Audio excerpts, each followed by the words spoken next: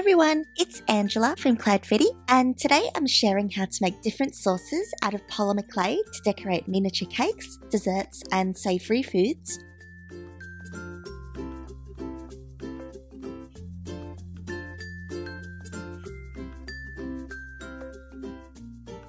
So to start out, I have a lot of different types of liquid clay, and I like to use these as the base for a majority of my sauces. They're all liquid versions of polymer clay, and I like to use these in multiple ways. I like to mix them with different materials like chalk pastel powder, balls of clay, and more to achieve all kinds of effects. These liquid clays all differ in transparency or how clear they are, and also the viscosity, which is how thick they are. So I've baked some on a little sheet of glass so that you can see how they look compared to one another.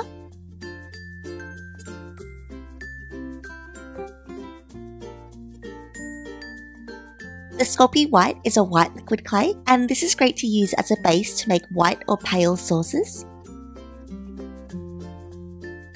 The Bake and Bond is actually quite thick, and it can be added to thicken mixtures. I like to use it on round things like ice cream because it stops the sauce from running down the sides and getting too messy. The translucent clay is great for making semi-transparent sauces or ones that aren't super clear or also super opaque or solid. The Fimo Deco Gel is super translucent and it's great for making sauces that are really clear like fruit-based ones. To mix the sauces together, I use a flat spatula type tool.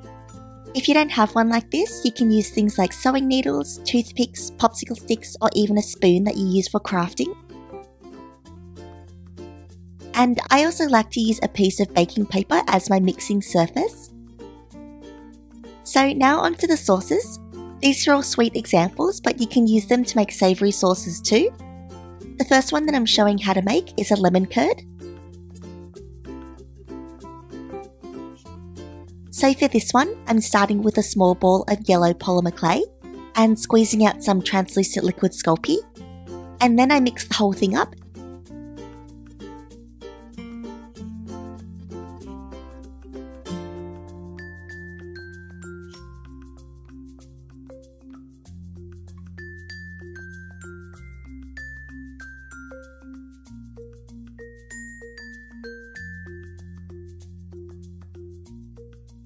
adding in some Bake and Bond as I go just to smooth it out while also thickening the mixture.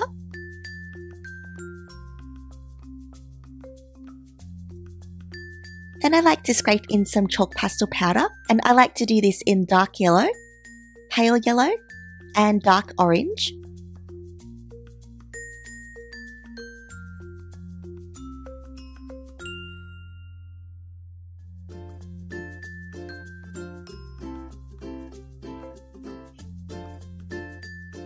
And lastly, to make things more realistic, I'm cutting off a slice of a lemon cane to place on top. And now onto some chocolate sauce. So for this one, I like to use Bake and Bond as my base, so just mixing it together with some brown clay.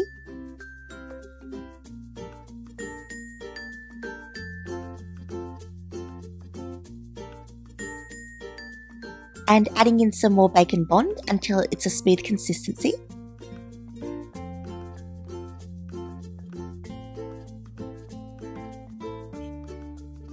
And then I like to scrape in some brown chalk pastel so that it darkens it a tiny bit. And as I mentioned earlier, you can change things up for a savoury idea where you can use this method with red clay and chalk pastel to make ketchup, tomato or pizza sauce. And next up, I'm making some honey. And for that, I like to start with Fimo Deco Gel. And then scrape in some brown, orange, and yellow chalk pastel.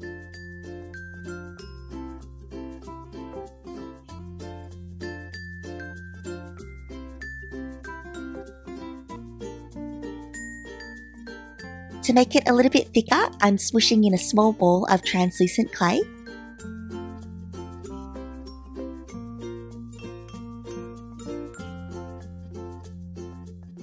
And then I just keep adding small amounts of Fimo Deco Gel until it's nice and smooth.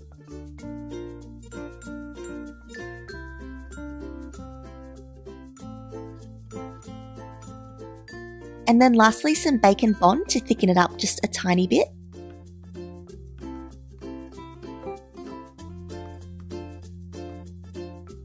So next I'm making some berry sauce. And to start, I'm squeezing out some Fimo Deco Gel and then mixing in a tiny amount of chalk pastel powder. I like to start with light pink, then dark pink, and finally purple.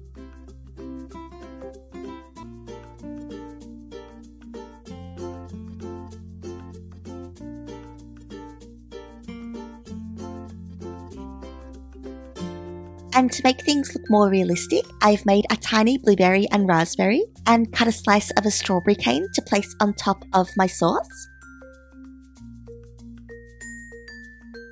And next, I'm making some vanilla custard. And this one is super easy. I just squeeze out some white liquid clay and mix in some yellow chalk pastel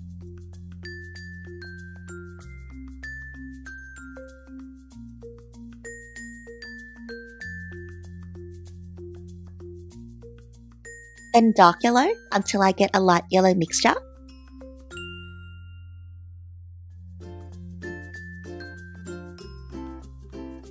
And now onto some maple syrup. I like to squeeze out a tiny bit of translucent liquid Sculpey and then mix in some brown chalk pastel until it's a nice medium brown colour and this mixture would be great for making toffee or caramel with different colours.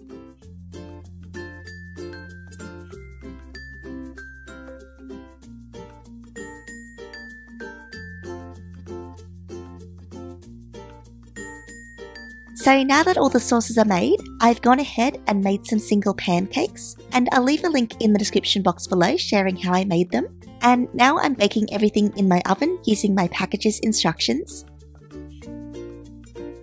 And then once all the sauces have cooled down completely, you'll see that they have a matte finish to them.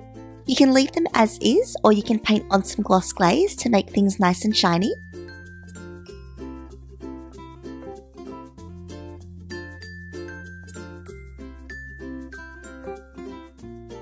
If you bake a lot of sauce at once, you can store it away in plastic paint pots for later use.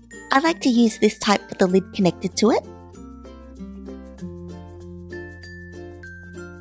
All I do is take any excess sauce mixtures that I have and scrape them into the pots and they're ready to use for the next time I need them. And that's everything on how I make polymer clay sauces. The great thing is that you can mix and match lots of different mixture combinations to get the look that you're after for all sorts of foods. So don't be afraid to experiment and try different things and see what you come up with. And that's all for this tutorial. If you like this video, give it a big thumbs up and subscribe for more. Thank you so much for watching and I'll see you next time. Bye!